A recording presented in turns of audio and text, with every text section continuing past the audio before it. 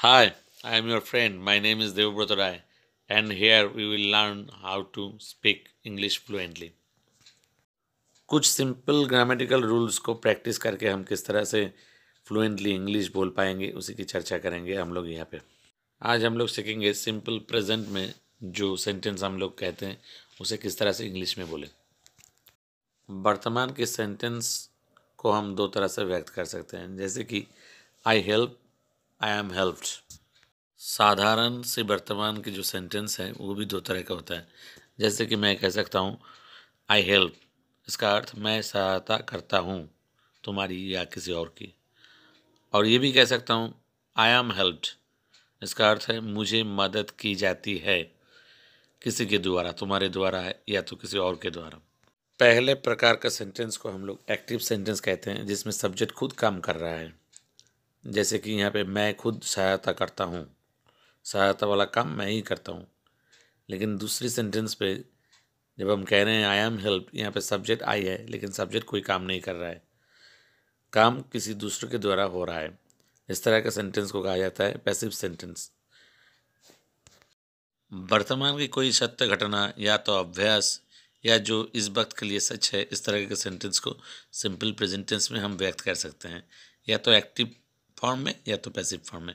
जब सब्जेक्ट खुद काम करेगा तो ये एक्टिव सेंटेंस होगा सब के सब्जेक्ट के बाद सीधा भाव का प्रयोग होगा। और जब पैसिव होगा, सब्जेक्ट खुद निष्क्रिय है उसे वो काम नहीं कर रहा है, लेकिन उसके ऊपर काम का परिणाम आ रहा है, तब पैसिव फॉर्म में लिखा जाएगा या तो बोला जाएगा। जैसे कि सब्जेक्ट, उसका बाद V verb am is are उसका बाद मेन वर्ब का फ़र्स्ट पार्टिसिपल फिर बाई का पार्ट हो भी सकता है, नहीं भी हो सकता है।